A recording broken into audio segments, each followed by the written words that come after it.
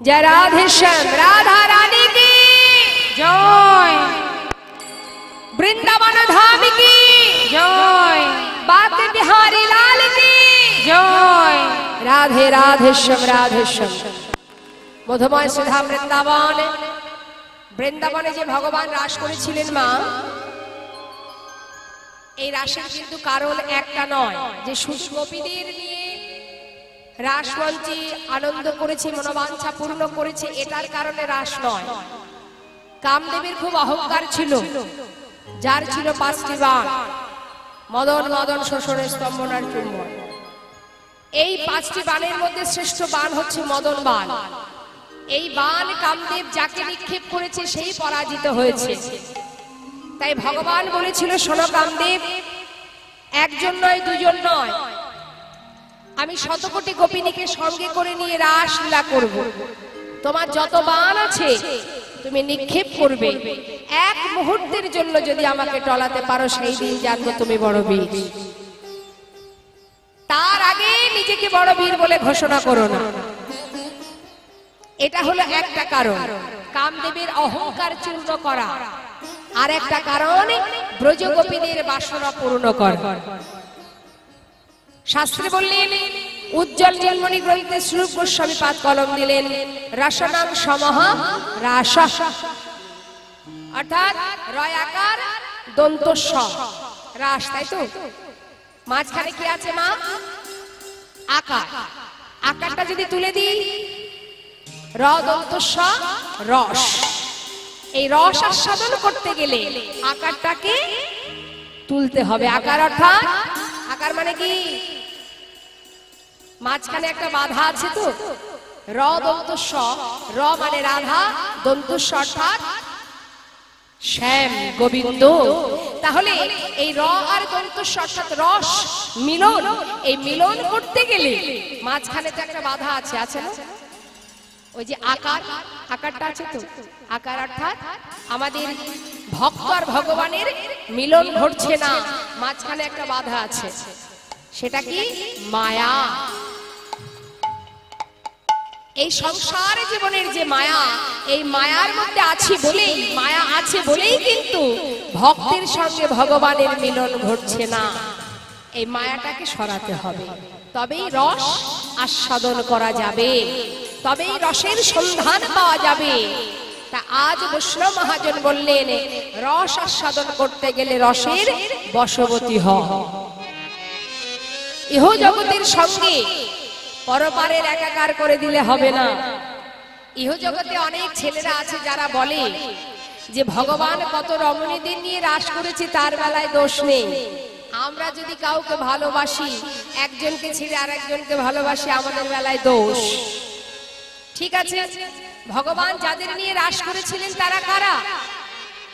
তারা আদৌ নারী না পুরুষ? কেন করেছিলেন? কি ছিল তার কারণ? সেগুলো কিন্তু আমরা জানি না। হ্যাঁ? কোথায় ভগবান কনিষ্ঠ অঙ্গলিতে গিরি গোবর্ধন ধারণ করলেন? তাই তো? গিরি গোবর্ধন পর্বত ধারণ করলেন কনিষ্ঠ অঙ্গলিতে আর আমাদের ইহজগতের ছেলে মেয়েদের যদি বলা হয় যে, বাবা, বেশি কিছু দরকার নেই, একটা লরি। বাদ দিলাম, একটা ইট। একটু এই আঙুল দিয়ে কনিষ্ঠ অঙ্গলিতে ধরে রাখো তো। পারবে? সেটা পারবে না। যিনি গিরি গোবর্ধন ধারণ করেছে, সেই গিরি গোবর্ধন ধারণ করবার ক্ষমতা তো তাদের নেই জগতের কারণ নেই। তাহলে সে যাদের নিয়ে লীলা করেছেন, ভগবান যাদের নিয়ে লীলা করেছেন, সেটাকে তুমি অনুকরণ করছ, আর এ বেলায় কেন করছ না? অনুকরণ যদি করতে হয়, সব দিকটাই অনুকরণ করো। কোথায় গোবিন্দ, কোথায় তুমি? কার সঙ্গে কার তুলনা? হরি হরি। তো মন দিয়ে আস্বাদন করতে হবে, মা।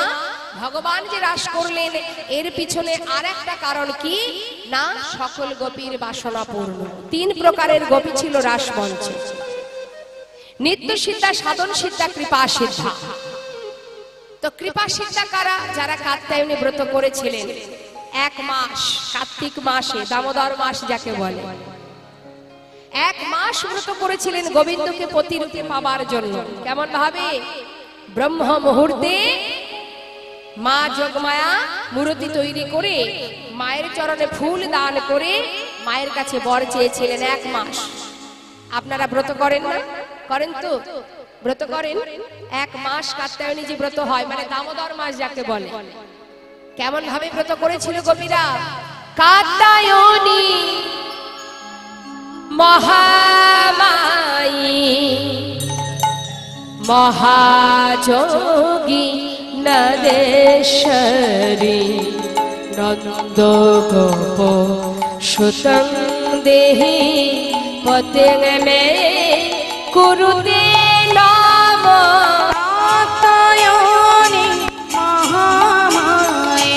মহাযোগে নদীশ্বরী।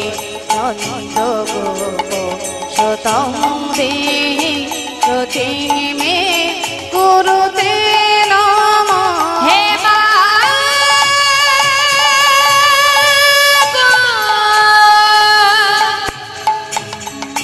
হে মা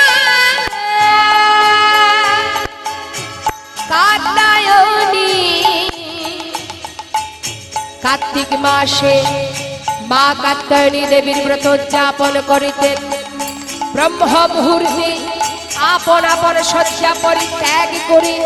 যমুনায় স্নান করিয়া সেই যমুনার তীরে তৈরি করতেন এক দেবী মূর্তি।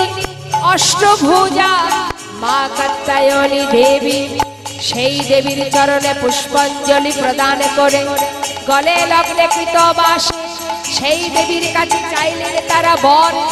হে মা কাত্যায়নী হে মা মহামায়ী হে মা মহাযোগী নাদেশ্বরী, তোমার চরণে করি প্রণামে, তুমি আমাদের এই বার দাও, নন্দের নন্দনে কৃষ্ণকে আমরা যেন পতিরূপে সেবা করিতে পারি।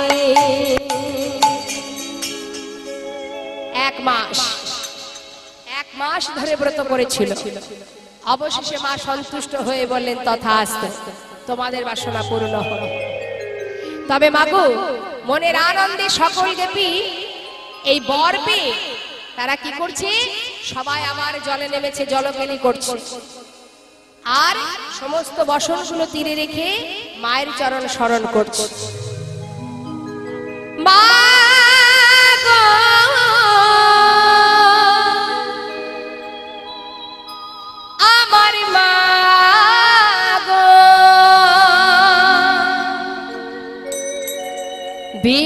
বিশ্বরূপিণী তুমি মা। অগমা বিশ্বরূপিণী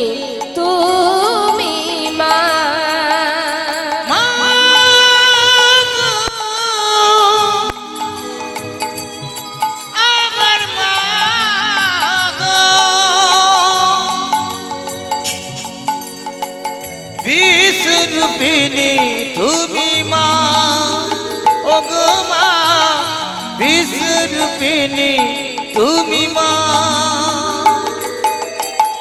তুমি যারে কৃপা করে জানাও জানিতে পারে। তুমি যার কৃপা করে জানাও জানিতে পারে। তুমি যারে কৃপা করে জানাও জানিতে পারে। তুমি জানে কৃপা করে জানাও জানিতে পারে। সকলে তোমার মহিমা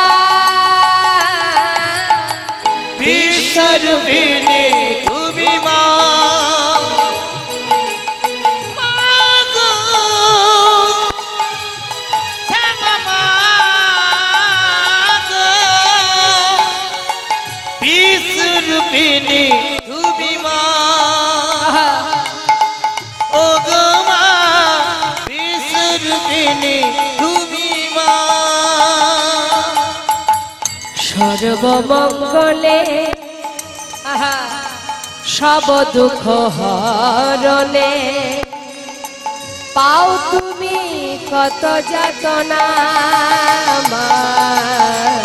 সর্বমঙ্গলে সব দুঃখ হরণে। পাও তুমি কত যাতনা সর্বমঙ্গলে সব দুঃখ হরণে পাও তুমি কত যাতনা।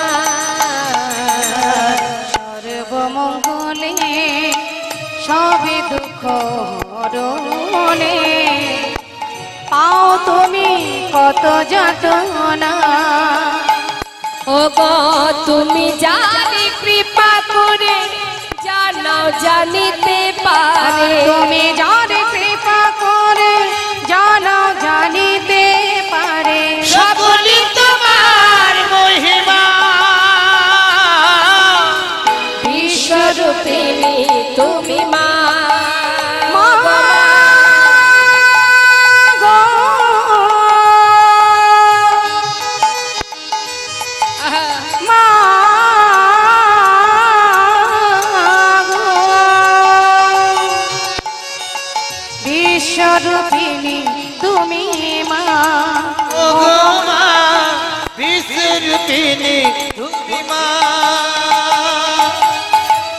বিশ্বরূপিণী তুমি মা। ও গো মা বিশ্বরূপিণী তুমি মা। ওগো মা বিশ্বরূপিণী তুমি মা গো।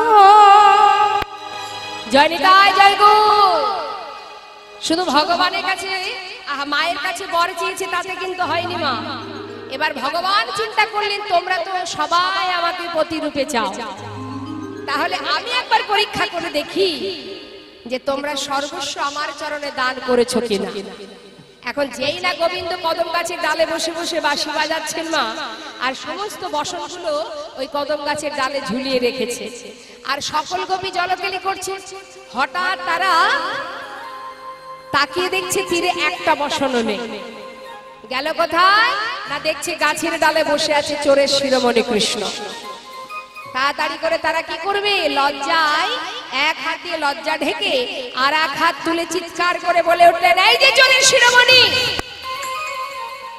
ছি ছি ছি ছি তোমার লজ্জা করে না? ব্রজ ললনা যারা তারা জলকেলি করছে আর তুমি কিনা কদম গাছের ডালে বসে বসে জলকেলি দর্শন করছ? ছি ছি, ছি। আবার বস্ত্রগুলো ডালে ঝুলিয়ে রেখেছো? দাও বস্ত্র দাও। গোবিন্দ বলছে দাঁড়াও এক মাস মায়ের চরণে ব্রত করেছ? তোমরা নাকি আমাকে প্রতিরূপে চাও? তাহলে বলো দেখি, লজ্জা করবে কেন আমার? এই যে, সবই তো দিয়েছ আমায়। লজ্জাটাকে নিজের বলে এখনও ধরে রেখেছো কেন? ষোলো আনা দান না করলে আমি কেমন করে তোমাদের বাসনা পূর্ণ করব? যেই না বলা মা, সঙ্গে সঙ্গে সকল গোপীর ভুল ভেঙে গেল। দুটি বাহু উত্তোলন করে বলে উঠলেন হে প্রভু হে জগৎপতি তোমার চরণে তোমার দেয়া দেহ সঁপে দিলাম। শুধু একটা বাসনা একটা রজনীতে আমরা সবাই তোমাকে প্রতিরূপে লাভ করতে চাই। ভগবান বললেন এই তো এতক্ষণে সমর্পণ হলো তথাস্তু তোমাদের বাসনা পূর্ণ হবে। তবে আজ নয় আগামী শারদীয়া পূর্ণিমা তিথি- তিথিতে। বেশ। আজ সেই দিন মা, ভগবান কৃষ্ণ আমার চন্দ্রশালিকায় উঠে চাঁদের শোভা দর্শন করে, বিলম্ব না করে আজ পূর্ব প্রতিশ্রুতি রজনীর কথা মনে পড়ে গেছে। তাই যোগমায়াকে আশ্রয় করবে বলে তিনি সেই বনশোভা আর চাঁদের শোভা দর্শন করছে কেমন শোভা? নবকম কময়নরাগে লালে ডগমগ হয়ে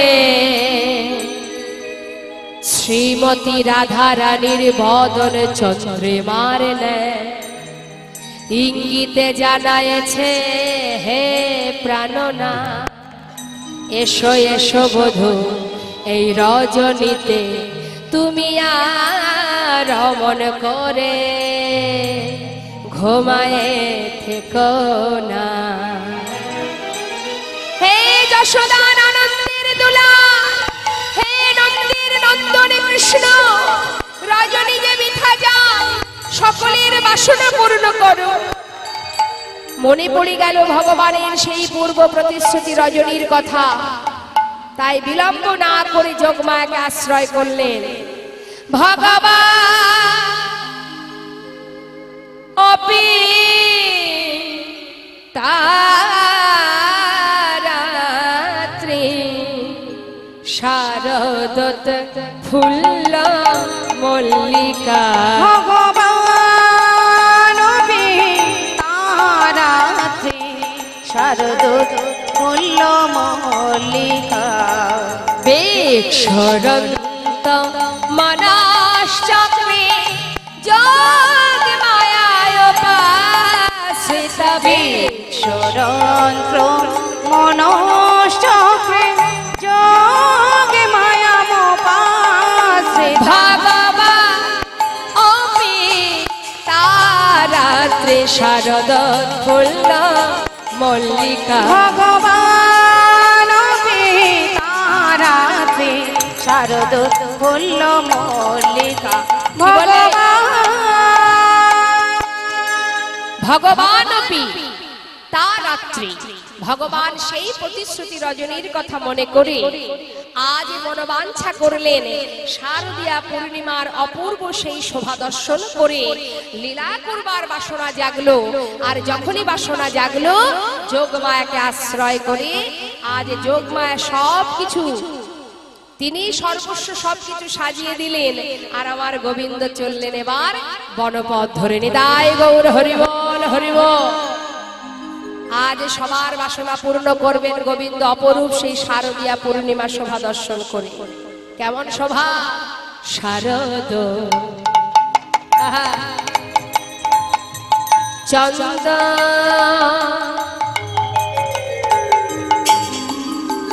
দেখো পবন। মন্দ।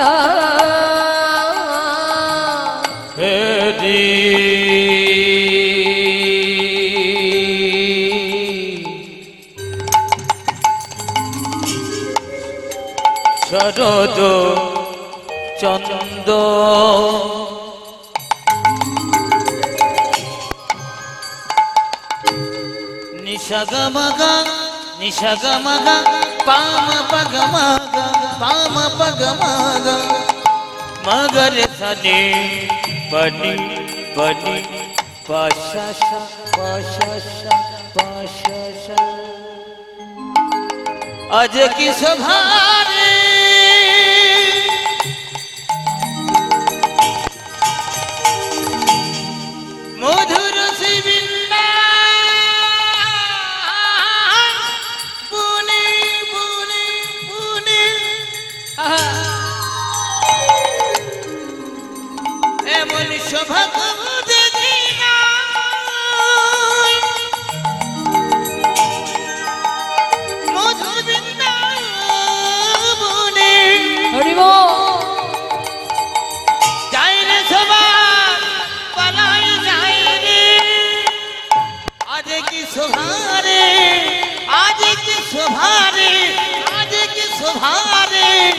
মধুর বৃন্দাবনে বৃন্দাবনে বৃন্দাবনে।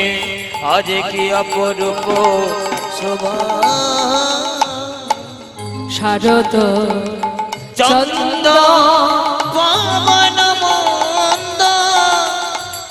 বিপিনে ভরাল কুসুম গন্ধরে আহারে আহারে। আহারে। শারদ চন্দ পাবন মন্দ বিপিনী আহারে।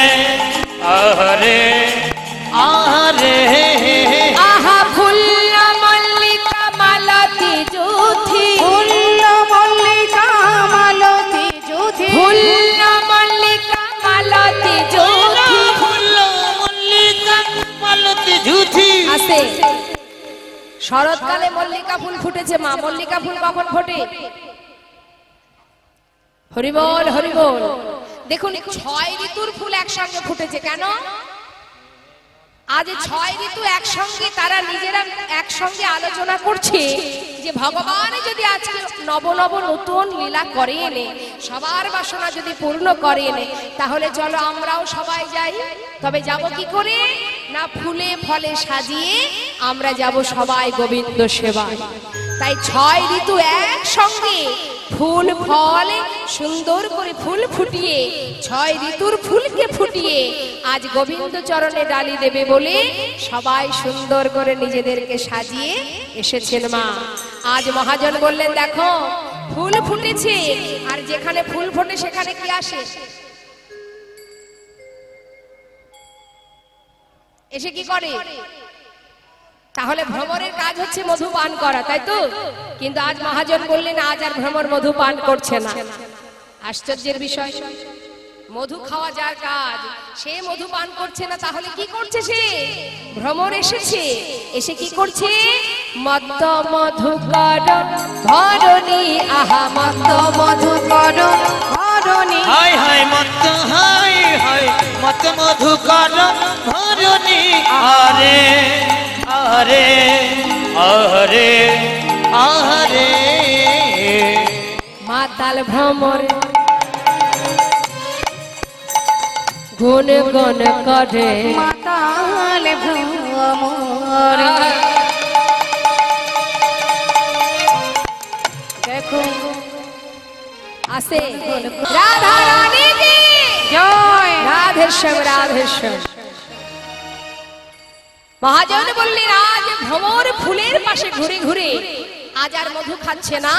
কি করছে? গুনগুন করে ফুলের কাছে এসে বলছে, ওগো মধু, আমরা তো প্রতিদিন পান করি, আজ আর করব না। তবে এসেছি কেন জানো? তোমাদেরকে সাবধান করতে, সাবধান। ফুল ফুটলেই শুধু হয় না, ফুল ফুটলেই গোবিন্দ সেবায় লাগা যায় না। গাছে তো অনেক ফুল ফোটে সব ফুল তো গোবিন্দ সেবায় লাগে না মা লাগে? তাহলে সাবধান করতে এলেন ভ্রমর বললেন সাবধান। দেখো যেন মধ ঝরে পড়ো না। দেখো যেন মধু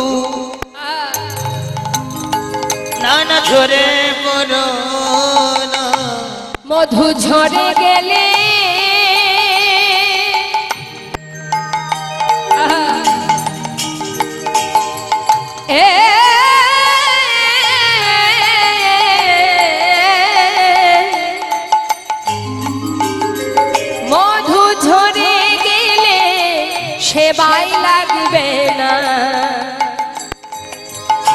দেখো যেন মধু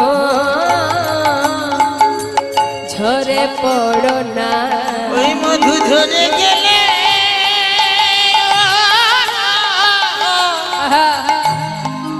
ওই মধু ঝরে গেলে সেবাই লাগবে না। হরি বল হরি বল। দেখো জানো মধু ঝরে পড়ো ফোটাই কেবল সার হবে। গোবিন্দ সেবায় না লাগিলে। ফোটায় কেবল সার হয় না গোবিন্দের সেবায় না লাগিলে। ফোটায় কেবল সার হয় না দেখো যেন ধরে না এই যে সবাই আপনারা বসে আছেন, এক একটি পূর্ণ প্রস্ফুটিত ফুল হয়ে ফুটে আছেন। তাই বৈষ্ণব মহাজন আমাদের মতো জীবকে শিক্ষা দিচ্ছে, সাবধান।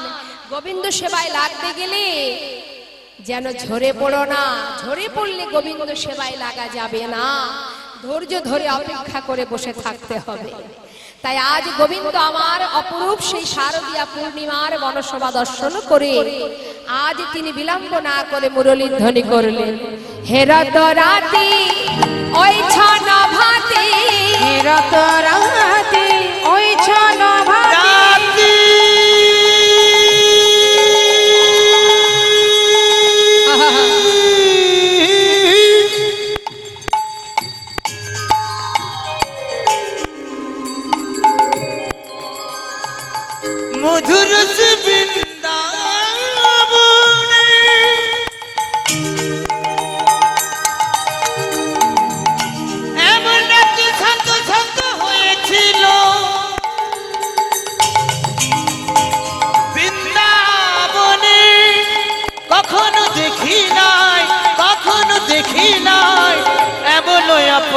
রাতি বৃন্দাবনে এমন রাতি।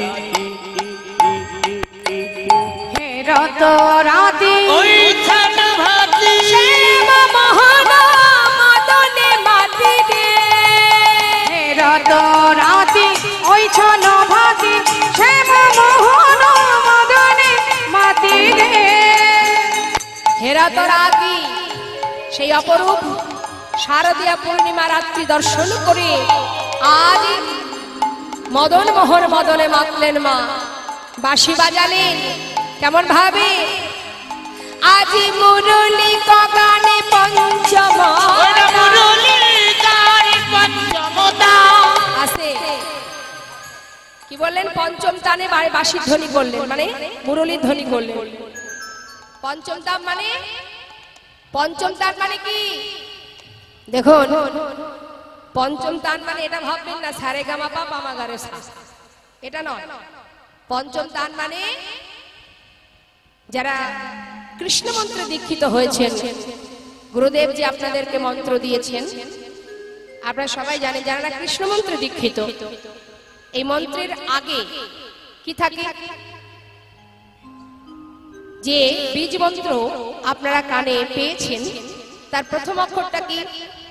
কয়লয় দীর্ঘি চন্দ্রবিন্দু, অনেশ্বর। কি ঠিক বললাম তো? তাহলে কটা হলো মা? ক, ল, দীর্ঘিকার, চন্দ্রবিন্দু আর অনেশ্বর। অর্থাৎ এই হলো পাঁচটি। এই পাঁচ তানে, এই পাঁচটি তানে আজ আমার গোবিন্দ মুরলীর ধ্বনি করবে তাই আজ মহাজন বললেন, মুরলী কগান পঞ্চমতা। পঞ্চমতা। বাসি।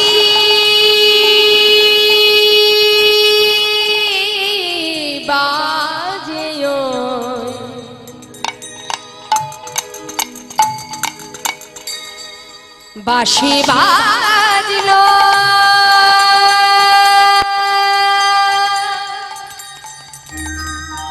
বৃন্দা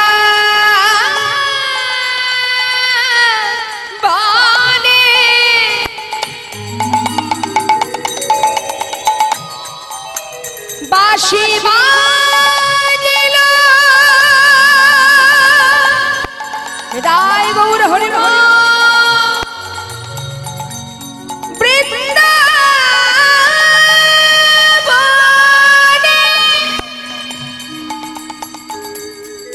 বাঁশি বাজিল বৃন্দাবনে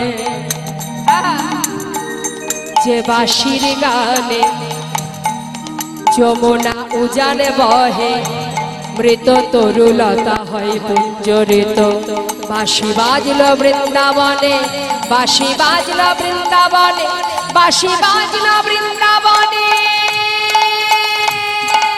মুরলি গান পঞ্চমতা মুরলি পঞ্চমতা লবতী চিত্ত চরণী চরণী রে চরণী রে চরণী রে চরণী রে চিত্ত চুরি করিল।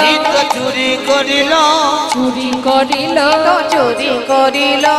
ওমা কে চুরি করল? সকল গোপীর মন চুরি করে নিল। কে করল?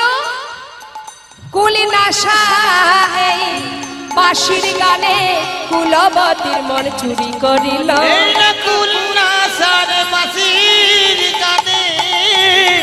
কুলবতীর মন চুরি করিল। বাঁশির গানে সকলে ছেড়ে ধে চলিল। সকল ছেড়ে হে চলি ওই না কুলনা সার বাসি শুনে। হে চলিল। ওই না কুলনা সার বাসি শুনে। সকল ছেড়ে হে চলিল। কুলবতীর মন চুরি করিল।